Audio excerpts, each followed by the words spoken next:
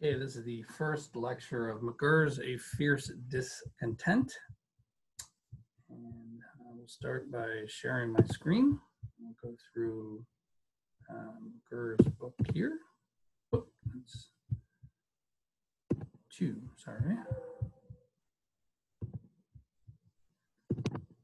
Okay, so a little bit about our uh, author. He is uh, from, got his PhD at Yale University, 1984. He's now at Indiana University's political historian uh, of the United States. He's interested in power, ideology, and culture. Uh, so this book is about um, how the progressive era and the progressives, uh, how their actions are manifested in uh, political response uh, and the things that uh, politics is able to achieve. Right. So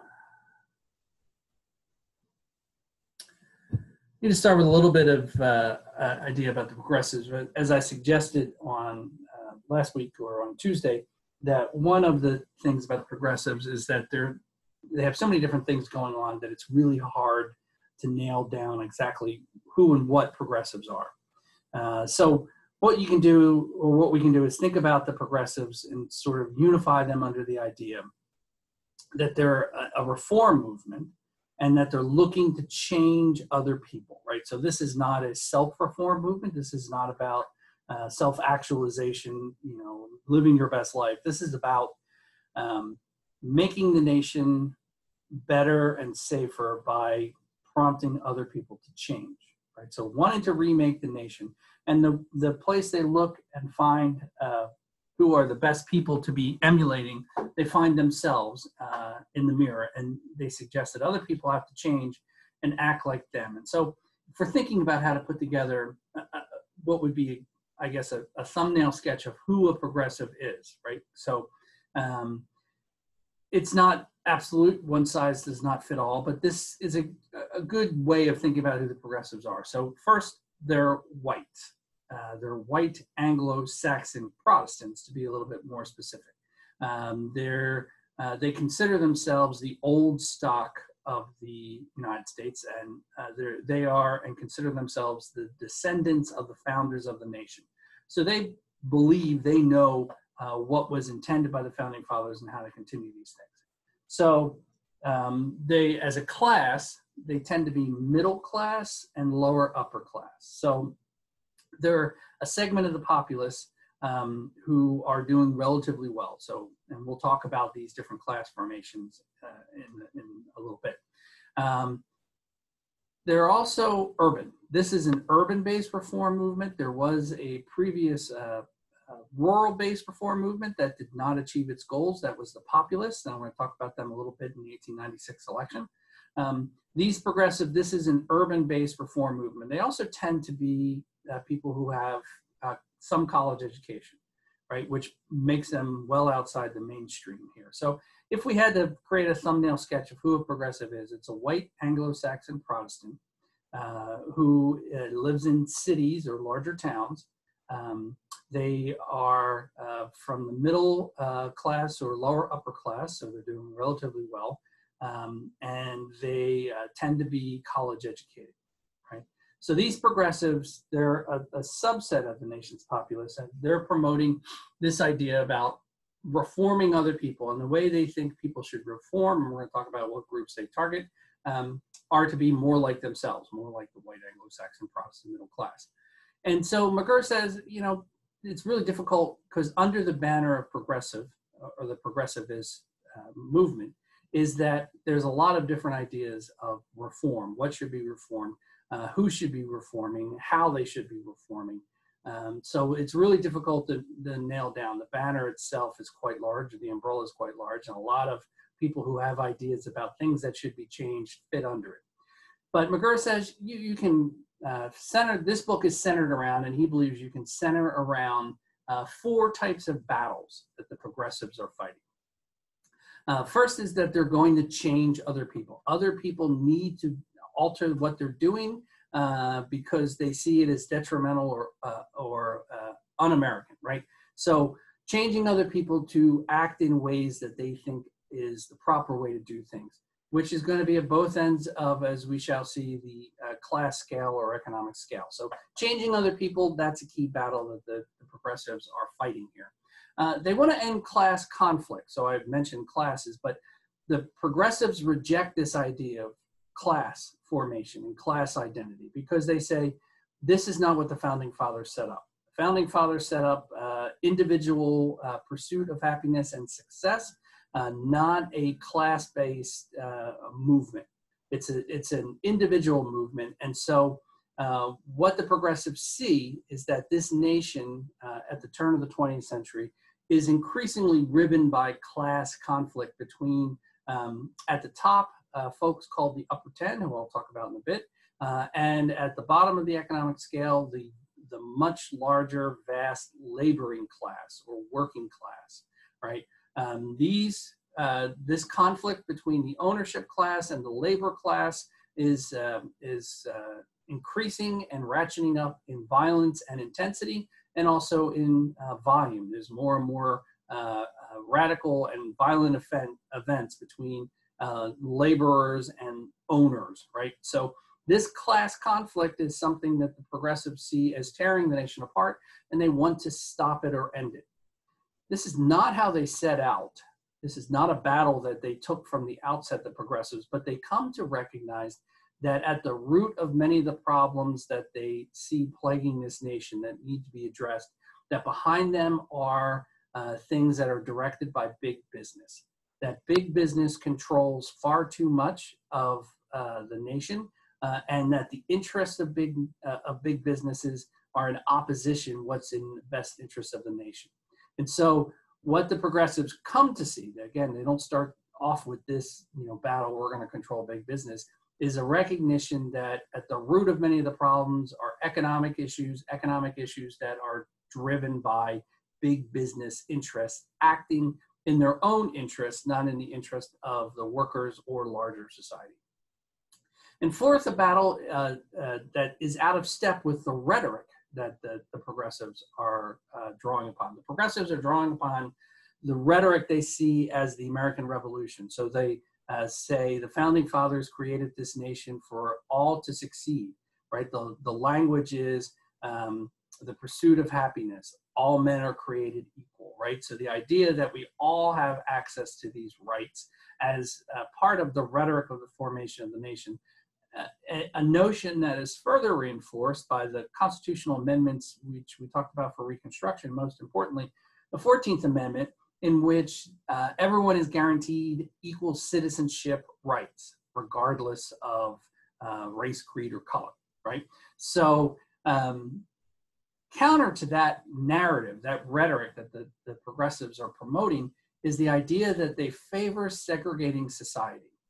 This is the post Reconstruction period where the, uh, the rights of um, the Black population in particular, but also to a certain degree the Native American population, are being restricted and extracted from them under Jim Crow. Right. This is a process of reversing what Reconstruction did to create equal equality in the eyes of the law, uh, creating a Jim Crow system uh, in which there are segregated uh, groups are segregated based upon their race uh, into different categories. In which at the top is the white ruling party, and below that is segregated out or separated um, uh, the black and other uh, ethnic minority populations. This is counter to what the progressives are promoting as what the founding fathers intended. But they're suggesting that the black population in particular, uh, but minority populations in general, accept this segregation to keep the peace because they know it's not exactly in step with the founding fathers, but they suggest for their own protection that they need to accept this segregation. It's a very paternalistic notion of the progressives, right? That we know what's best for you. You're right that the, the white Southern population who is oppressing you um, and uh, you know forcing you into this lower tier status, uh, separated from the white population. This is not what the founding fathers intended, but the the progressives fear that this conflict between the races is tearing the nation apart. And so to end this conflict in the short term, I suppose in the, in their long-term vision, things will be uh, worked out. But in the short term, the black population or minority populations should accept this segregation. So this is one of the battles that they uh, put their shoulder to because they're afraid of disorder and chaos. This is what the, the progressives are afraid of. And the progressive movement, oh, sorry, it's, uh, it's very interesting because uh, it, it, it's a movement that reaches its apex um, during the uh, American involvement in World War One, and then just to suddenly end. So it's it's a very um, um, defined period of time. So we begin with uh, 1900. Uh, there's really nobody who would officially call themselves a progressive prior to 1900. That term did not exist as a political term. By 1912, there are four candidates for the presidency. Uh, all four candidates are claiming the mantle of progressivism. So we've gone from nobody being a progressive to 1912. Everybody wants to be a progressive in order to win the election. Um, and during World War One, the progressives have their greatest impact, the greatest um, effect on the nation's life. Uh, and then, just as quickly as they reached their apex in 1920, the progressives and progressive ideas and the progressive movement is firmly rejected in the election of 1920. And so, as a formalized movement, the progressive movement begins to fall apart after 1920. Right? As we shall see, um, the ideas and the ideals of the progressive movement um, don't disappear. And in fact, they don't begin uh, de novo in 1900 many of the ideas that the progressives are promoting are things that the populists had been promoting. And so it's part of this sort of larger, you know, swing in American life of uh, conservative and liberal or uh, reform and maintenance uh, uh patterns in American history. So um, the progressive era is a reform movement, just as the populists were, and so the progressives are recycling some of the goals of the populist or the of the populist movement but um, when they failed, those movements are also recycled again in the New Deal, as we shall see. Right. So to begin with, we need to talk about what is an uh, it's an election in American history. There are certain elections that we refer to as watershed elections, in which um, the, the, the course of the nation is put, uh, the trajectory of the nation is put before the American public, and they have a chance to vote on it. Right. So previously we discussed uh, the 1866 election uh, in Reconstruction. That is a watershed election, even though it's not a presidential election year. It's put before the American public what way are we going to do Reconstruction? And the American public votes overwhelmingly for the more radical approach uh, or congressional legislation or Reconstruction. 1896 is another watershed election. It's an election where there's two really divergent ways of um, setting the pathway for the nation. One is the, uh, it's a populist position. William Jennings Bryan is the populist candidate who's also uh, validated and nominated by the Democratic Party to be the Democratic candidate. So Bryan is uh, running as a populist slash uh, Democrat, and he's running on a notion of uh, rural reform. He's his interest, his promotion are rural concerns, farmers, con- farmer concerns in the Midwest and the American South. This is, um, you know, the movement is one that's promoting a return to, as Bryan argues, what Jefferson, Jeffersonian America is supposed to be uh, small town, uh, rural, um, interest about the rural, protecting farmers. These are things that are motivating uh, Bryan and the populist and uh, Democratic Party in this 1896 election. On the other side, there's a Republican running by the name of William McKinley. McKinley is representing uh, business interests, uh, the moneyed interest, urban interest, industry interest, right? So we have uh, two uh, uh, candidates and political parties who are promoting very different things uh, in the 1890 election. So it's a watershed election. Which way are the American public going to go? Well, McKinley wins in 1896 and then wins re-election in 1900, although as we shall see, he does not serve his second term, right? So McKinley wins, which is a victory for business and business interests. This sets the trajectory, and uh, McGerr nicely gives us an illustration of the people who are excited about this because he has uh, Chicago bankers forming a conga line celebrating McKinley's victory because they recognize this is a victory for their interests, right? And so McGerr says this is a good place. Uh, we've had a watershed election. This is setting us up for uh, the early 20th century. It's a good place to take a look at what the United States is like. And what he sees, McGerr, is a divided country. It's a country not too far removed from the American Civil War here in 1896 or 1900, right? So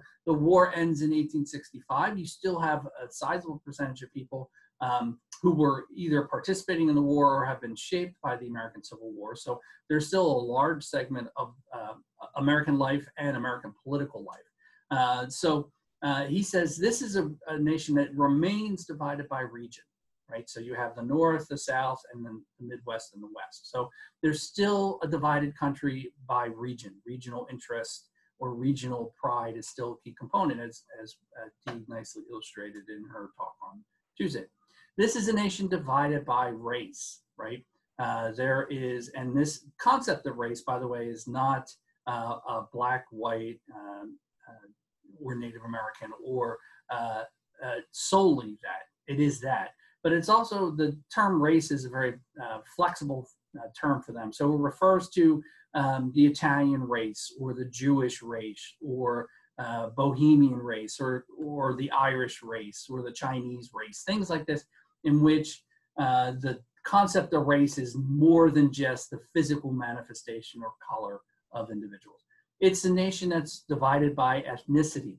Uh, this, uh, the latter 19th century is a period of massive immigration into this nation in which um, it's uh, accelerating and then dwarfing beyond, or it's accelerating beyond and dwarfing the previous uh, movement of migrants to this nation.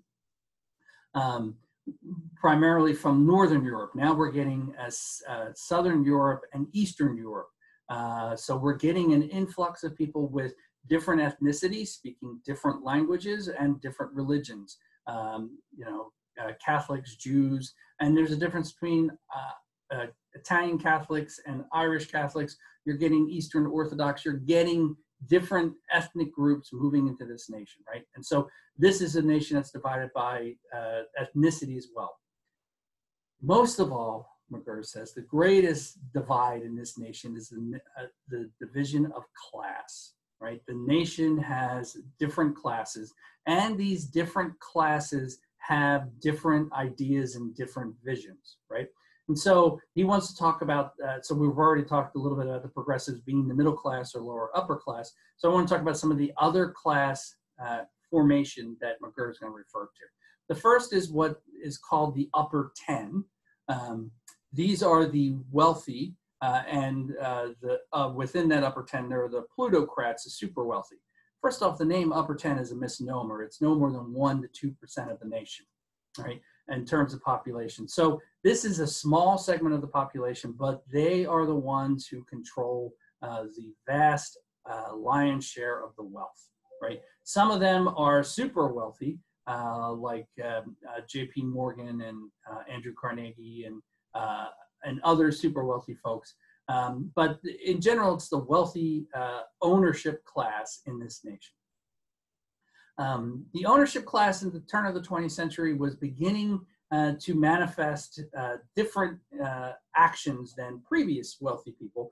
One in this nation, pre, uh, previous, both because they have a much larger share uh, than they had held before, and also because um, a measure of them are beginning to illustrate their wealth through conspicuous consumption, which is manifesting your wealth so that other people see how wealthy you are. So you have things uh, such as mansion building, right? And so uh, McGerr gives the example of the Biltmore, which is a 143 or 146 room mansion, uh, which has um, thousands and thousands of acres uh, as part of the property. Uh, so much, the, the, this one individually owned mansion is so large that to, to care for the building and the, green, and the greens of the property, it employs more people to manage at the Biltmore than the agriculture department for the entire nation, right? So this is um, a, display of wealth to to show how much money you have and how much you continue to have. So the wealth generated by the Vanderbilt family, um, and it's a, it's a he uh, McGerr used the example of the, the Bradley Martins, who are not just having a party, but having an over-the-top party to show how wealthy they are, right? To manifest your wealth in the conspicuous display of uh, living large. The thing about these upper 10 uh, or the upper 10 is that even if they didn't create their own wealth, like Carnegie created his own wealth, and even if they are just the people who inherited it, they see their success as a function of individualism, which is how they view the world.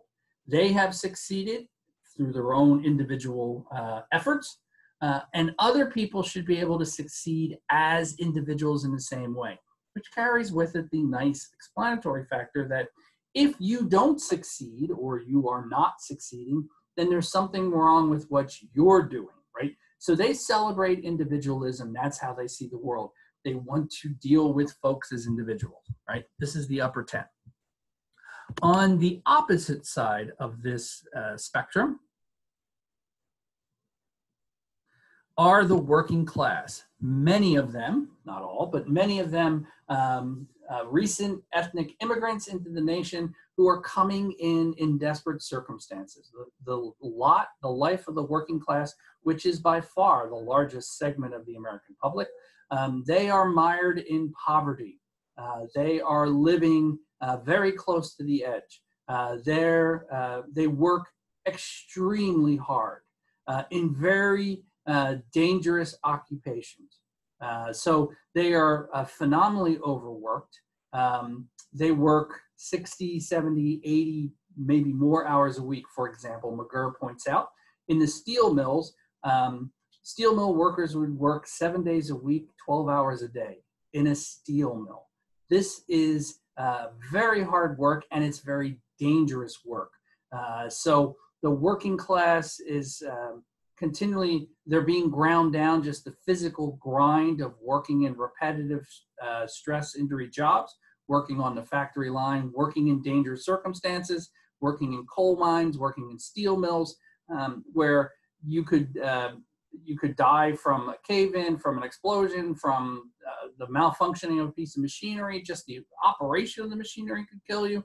Um, you could also be maimed, right? So you could lose an arm, an eye, a leg. Any one of these things could happen, uh, and the working class is susceptible to them at any time because they're working in very hard, uh, very dangerous circumstances, um, and they are tremendously underpaid, very poorly paid. So much so that um, in some uh, uh examples that McGerr cites, so working as a meat packer, which is uh, butchering uh, animals um, and uh, preparing the cuts of animal for sale in various sorts of ways, um, this full-time occupation, many hours a week, many more hours a week than 40-hour weeks, um, is insufficient to provide sufficient income for your family.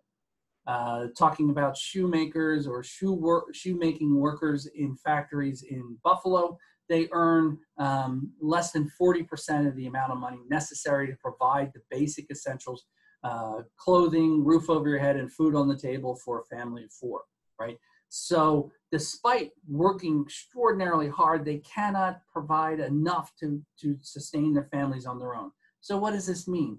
That everybody in the family works, right? The wife works, uh, the husband works, the children work, sometimes in industry, side by side with the parents, sometimes on the streets, uh, hustling newspapers, shining shoes, scavenging for things to sell, right? Um, everybody is out trying to uh, generate income to keep the family alive. So in this world, and in addition, whatever they're doing, whatever job they're doing, is very limited opportunity to, to move up because of their ethnic or religious and sometimes both status.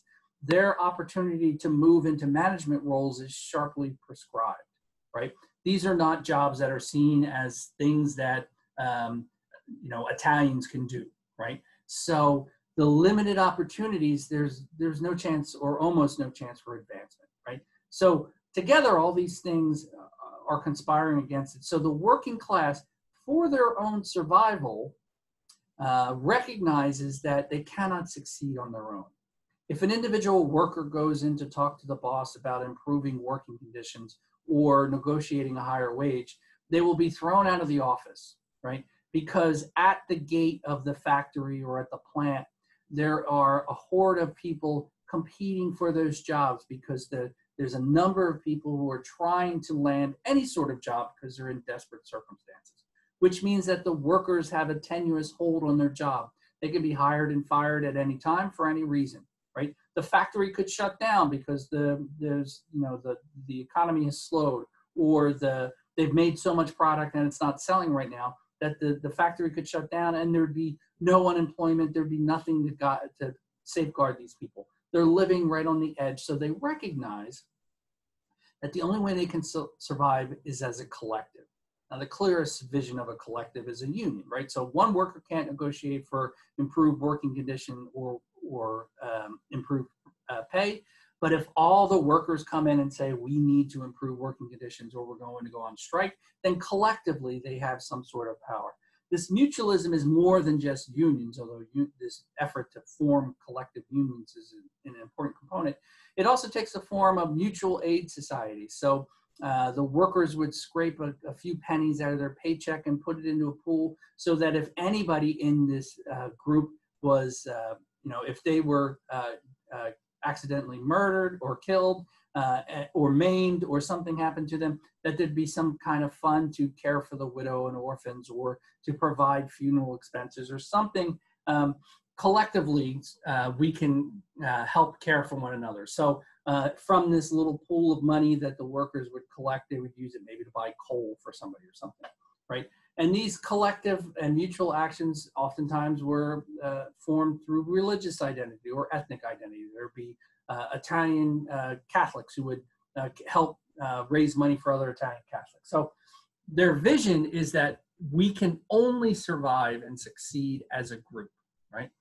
It's in complete opposition to the way the upper 10 see the world, who see that individualism is the way things uh, should be done. So you have these tensions baked into it because of the living situation of these two different groups. McGerr then talks about a sort of hybrid group, and, and uh, here he's talking about farmers, right?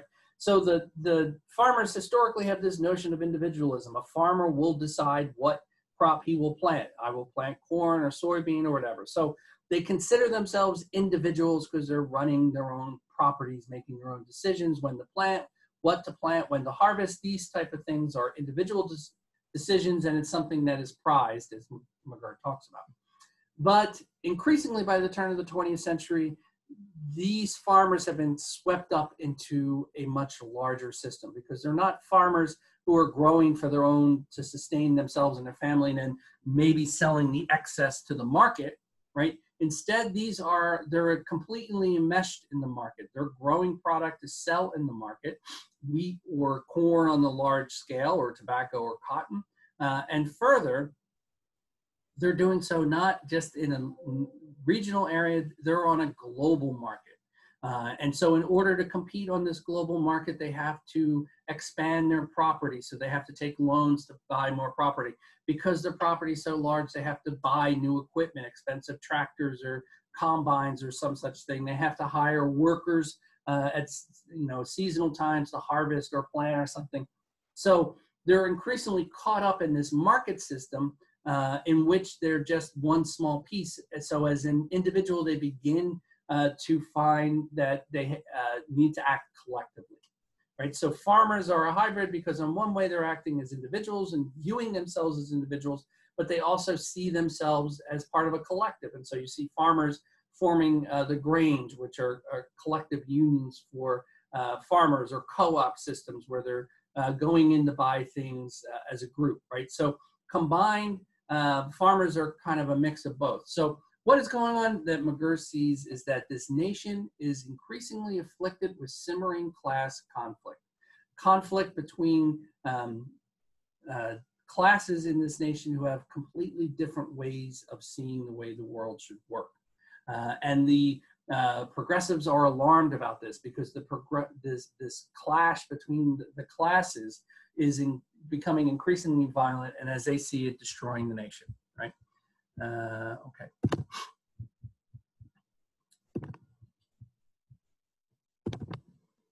Oops. Guessed wrong again. Okay. So we need to uh, situate these this story into sort of a larger movement, right? So this is the middle class. We're talking about the progressives, and this is during a particular time frame known as the Victorian era.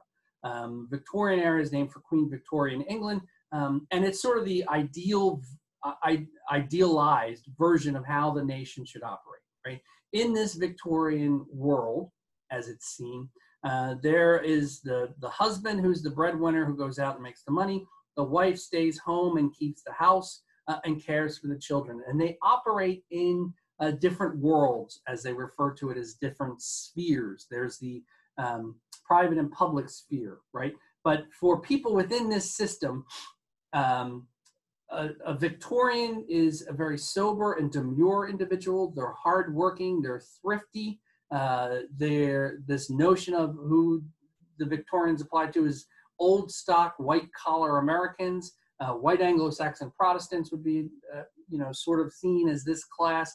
So they have certain public roles that you should that should be maintained. So a man out in the public world acts. Um, he has responsibility uh, to act in a certain fashion, proper fashion, as they see. Right. These spheres, this world is broken up into the private and public sphere. The public sphere is the male sphere. The man goes out into the world uh, and uh, faces the hurly burly to uh, generate uh, the money as the breadwinner, right?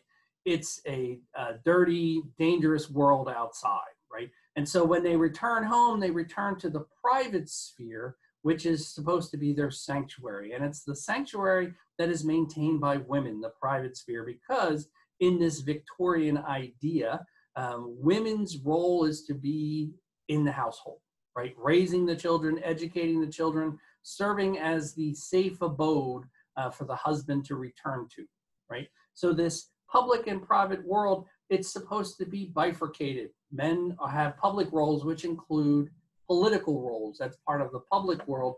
Women do not, right? Their role is in the household, right? So this is sort of, you know, uh, an oversimplified vision of what the Victorian era is supposed to be about. This world or this vision is under assault because the nation is undergoing enormous changes, uh, rapid uh, changes, right? Uh, part of this uh, part of this change is because women were rejecting this, you know, artificial uh, walled off world of the private sphere and were seeking to assert their public rights. So although they're relatively small in number, the suffrage moving movement is women's who, women moving into the public sphere, uh, agitating, uh, demonstrating for their right to vote because they uh, feel that this is something that they are entitled to as Americans as well, and that they don't want to be shoved back into the private world. They want to go out into the public world and assert their own individual individual ide- ideas and to engage in things like voting. Right. So uh, this suffrage movement, although it's small, it's a very public movement, and and it's part of this movement in general of moving of women moving out of um, the private sphere into the public world, wanting to escape this sort of uh, cage of being stuck into this uh, role in the Victor- Victorian era. They want to go out, right? Um, part of the things that are accelerating this process is that the Gilded Age is the catalyst.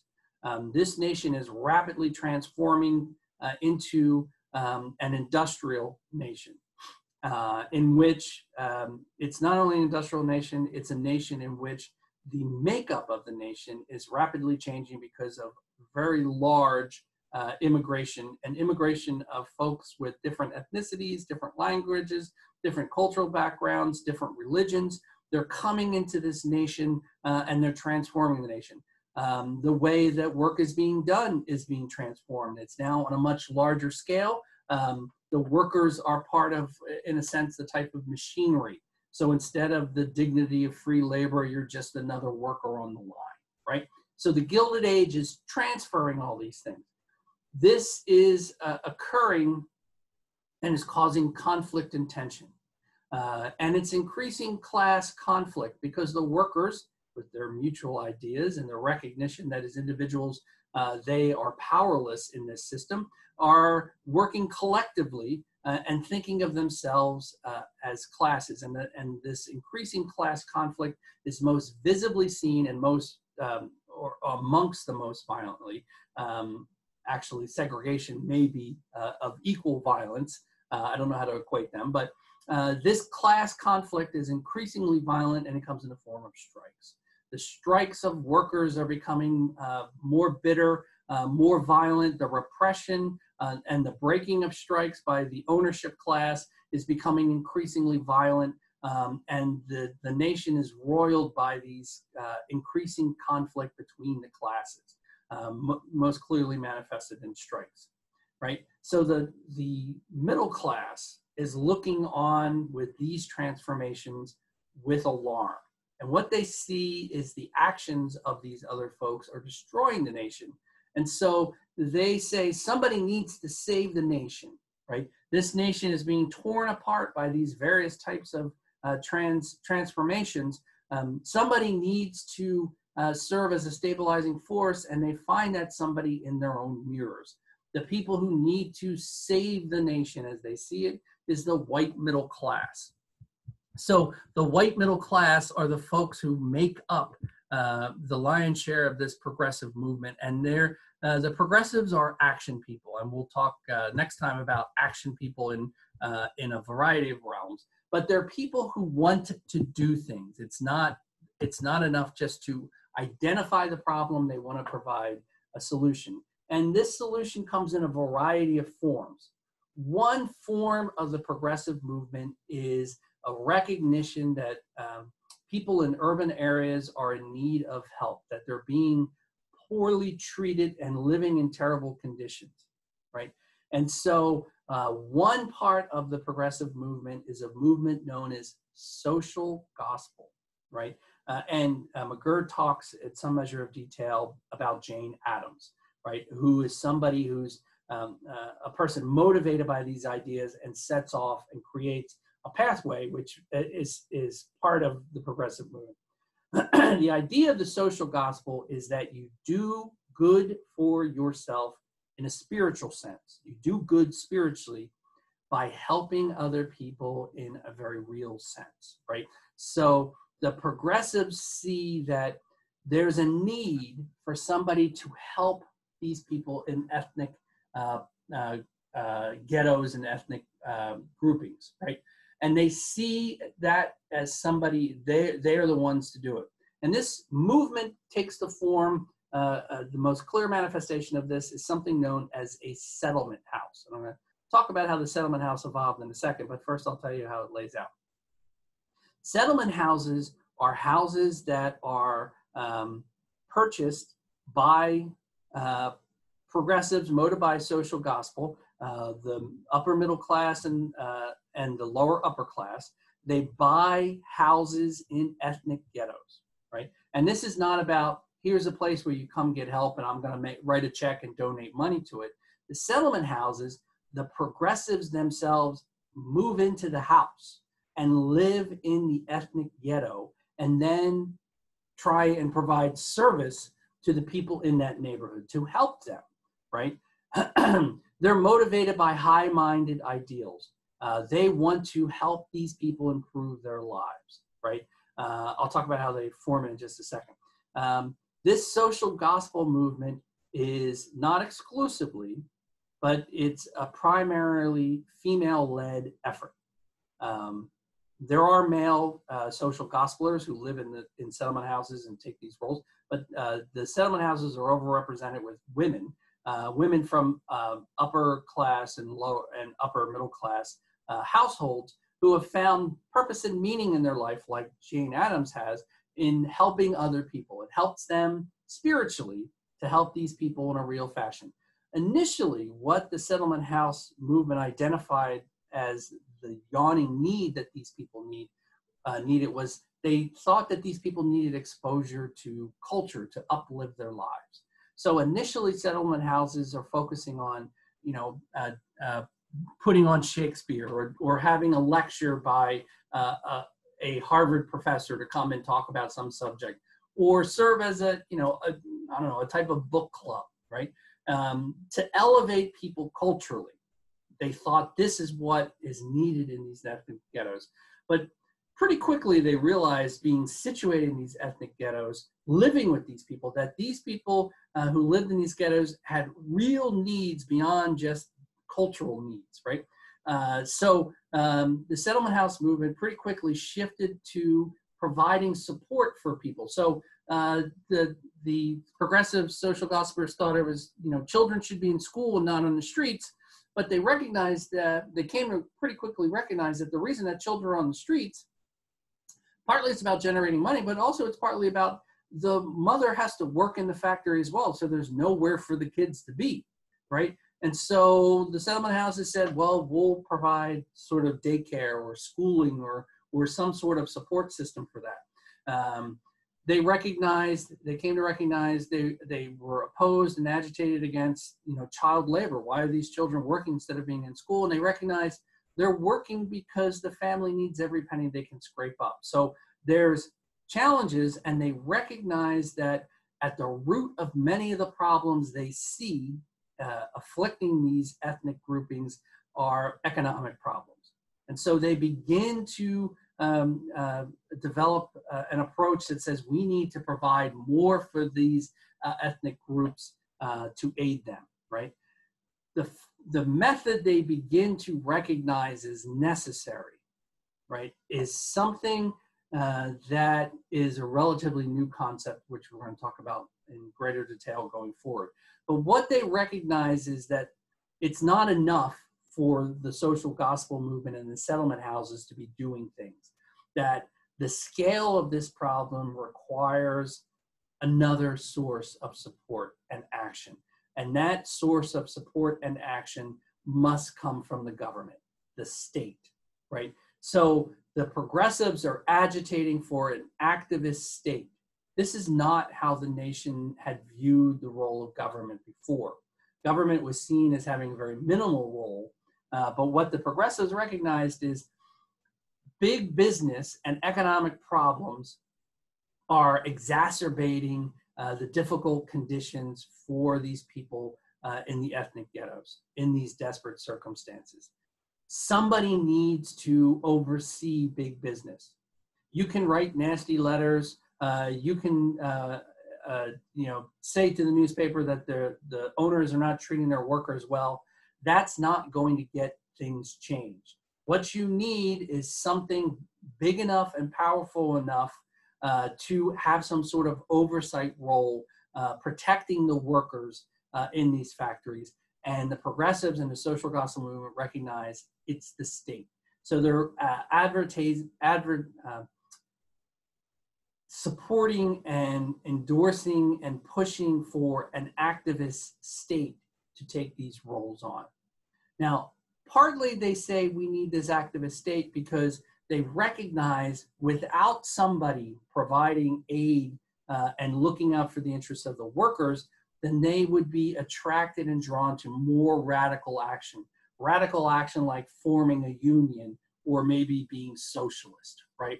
Uh, so the the progressives uh, they're concerned about the ethnic groupings uh, and the and the poor conditions and treatment that they are uh, uh living and laboring under, and they want to change that, but they don't want the workers to take radical action. They also fear this idea of radical action, and they're opposed to the idea this uh, notion of a class identity. That is, you know, if you're a worker and part of the working class, then you're no longer an individual, you're a privileging class, which the progressives are opposed to, right? So they're recognizing that there's a problem, then there's, there's a need, and to forestall what they see as radical action, they want the state to step in.